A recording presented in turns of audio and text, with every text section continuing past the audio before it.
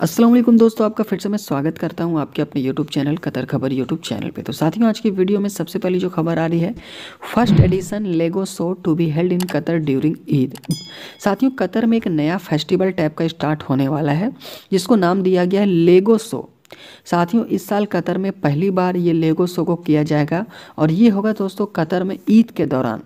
तो वीडियो के समय पे दोस्तों जो फ़ोटो वगैरह आप देख रहे हो, ये साथियों इसी तरह की चीज़ें आपको देखने को मिलेगी।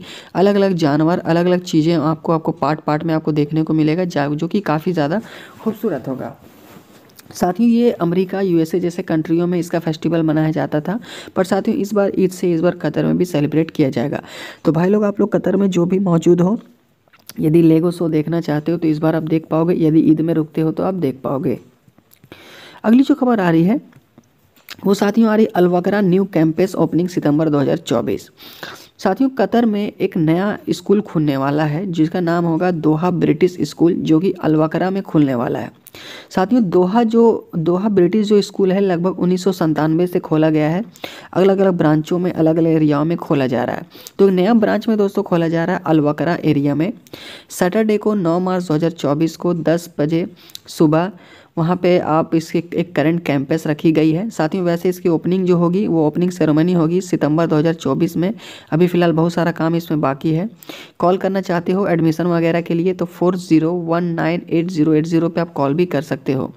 तो ये दोस्तों ब्रिटिश स्कूल की तरफ़ से वहाँ पर ये ताल्लुकात रखता है। तो जो भी भाई लोग आप लोग नौ मार्च को जाना चाहते हो इसमें पार्टिसिपेट करना चाहते हो सीनियर लीडरशिप टीम में तो आप नौ मार्च, नौ, दस बजे सुबह आप चले जाइएगा, वहाँ पर आप मुलाकात कर सकते हो।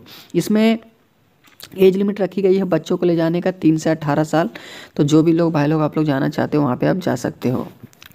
अगली जो खबर आ रही है, one one Qatar six Qatar press conference highlighted. साथियों, कतर में वन सिक्सटी सिक्स नाम का एक प्रेस कॉन्फ्रेंस किया गया था, जिसमें दुनिया के अलग अलग हिस्सों के जो फाइटर होते हैं, जैसे कि आप लोगों ने सुना होगा W W E, W W F तो वो सभी फाइटर इसमें मौजूद थे। इसमें पार्टनरशिप साथियों था, विज़िट कतर ओरिडो और भी कतर की दोस्तों कुछ बड़ी कंपनियाँ हैं, सभी इसमें पार्टिसिपेट की थी। इसका नाम रखा गया था one sixty world largest material martial art organisation की तरफ़ से किया गया था।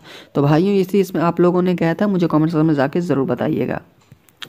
अगली जो खबर आ रही है king Harald V Norway remain hospitalise in Malaysia as official say condition improving साथियों, एक एक शख्स का मैं नाम बता रहा हूँ, जिनका नाम है किंग हर्लट साथियों, इस जो नॉर्वे के हैं, बता दूँ आपको, वहाँ के ये बहुत नामी ग्रामी दोस्तों शख्स है। इनको साथियों इन्फेक्शन हुआ था, जिसके बाद जल्दबाजी में उन्हें मलेशिया के बहुत ही बड़े दोस्तों हॉस्पिटल में उन्हें एडमिट किया गया, क्योंकि वो मलेशिया के एक रिजॉर्ट में ठहरे हुए थे।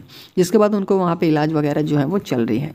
तो दोस्तों कुछ खबरें थी अपडेट्स थी, जो कतर सारी थी, मैंने अब तक शेयर किया। मिलता हूँ साथियों नेक्स्ट वीडियो पर जय हिंद एंड टेक केयर